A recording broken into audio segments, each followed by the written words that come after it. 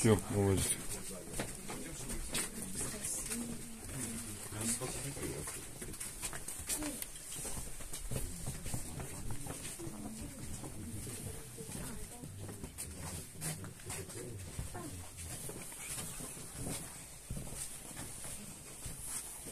Так, хорошо, все, мы уже оказались в старых шахтах, ребят, здесь не перестроено ничего под бункера, вот они дикие катакомбы, да, молдаванки. Единственное, что очень много, будем проходить подпорных стен, на которых тоже имеются даты, например, там 1957 год. Ребят, это все укреплялось, да, чтобы не было ни обрушений, ничего. Вот городские катакомбы вот здесь под молдаванкой, поверьте, они самые укрепленные. Есть такое, что прям стремняк вообще ходить даже нам.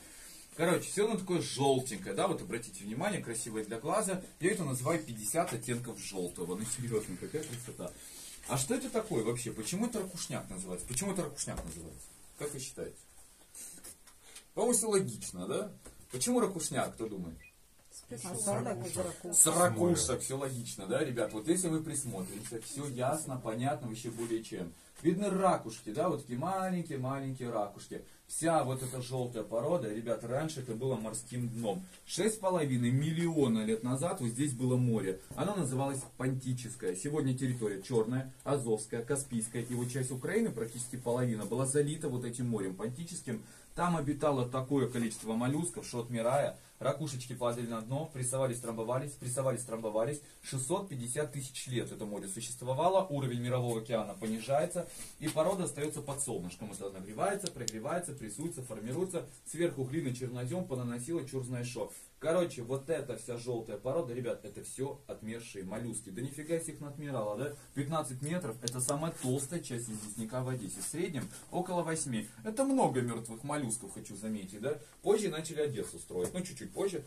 1794 год. Кто не знал, чисто для справки, бывшие турецкие земли, часть Османской империи, начали осваивать, как новый юг Российской империи. Хорошо, Екатерина Великая говорит, хлопцы, все, проезжайте, стройте город, стройте гавань. Простите, из чего? Степи, трава, кусты, балки, овраги, никакого дерева вообще в окрестностях не было, столкнулись с проблемой, нет стройматериала. Находят глину, находят песочек, водичку, прекрасно, можно лепить кирпич. А чем его обжигать? То есть не было никакого стройматериала вообще. И наш одесский фарт сработал. Нам всегда фартит, да? Увидели строители, что балки овраги имеют прямой выход вот этой желтенькой породы. Прекрасно, вот он и стройматериал. Делают георазведку и понимают, что он залегает много где, еще и на разной глубине. Ребят, чем ближе к морю, он уходит глубже, чем дальше э, в 1937 году. Подсмотрев э, технологию добычи англичанами мелового известняка, поняли, что мы тоже так хотим. Это же прекрасно, ровные блоки, великолепно шустро получается. С 1840 благодаря вот этой английской технологии, у нас в Одессе катакомбы начали появляться невероятнейшими масштабами. Как это делали, технически рассказываю. Ровная стена, наше рабочее место, называется забой, как в любой горной инженерии. Его делят на три части, замерив предварительно. Раз, два, три. Сначала середина шириной в 70 сантиметров вырезалась, а потом отрезали обе две боковые части стенок. Берем вот этот лом, и под потолочек, по центру начинаем долбить нишу. 70 сантиметров в ширину, 20 сантиметров в высоту и на глубину лома, сколько позволяло. Видите, он специально внутри формы даже идет. Короче, полочку заготовили. Взяли вот эту здоровенскую пилу, ее первые э, зубцы набрасываем на самый край вот этой ниши и пилим стеночку вот так вот просто до самого пола, на всю длину пилы, до, донизу, да. Чик пропил с этой стороны, чик пропил с этой стороны, подрезался низ, вырезали клин такой сегмент, ну пута, чтобы дерево как варят, знаете, клин нужно высечь, тот же принцип. Все, изъяли пету. Этот блок теперь висит за счет задней стенки. Чтобы его выломать, брали снова клин, пропил, ставили, кувалдой забили. Клин зашел, блок развернулся, задняя стенка, клоц откололась. И теперь вот эта мамота с полторы тонны весом, боковые стенки до двух с половиной тонны весом достигали, начинают выпадать сюда в проход. Чтобы это все не разломилось, брался мелкий мусор, камушки, отходы и накидывали на пол типа аморти... амортизационной подушки. Шмяк приземлилось, расчертили, распилили, гайда наверх таскать. И в специальных помещениях камень выстаивали около 9 месяцев, потому что влажность 95%, известняк в руках вообще рассыпается, вот и пилится прекрасно. Посушили, продали.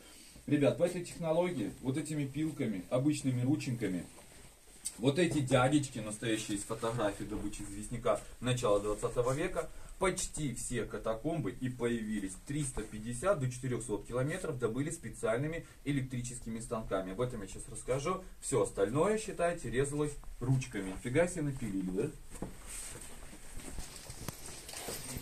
2000 километров больше.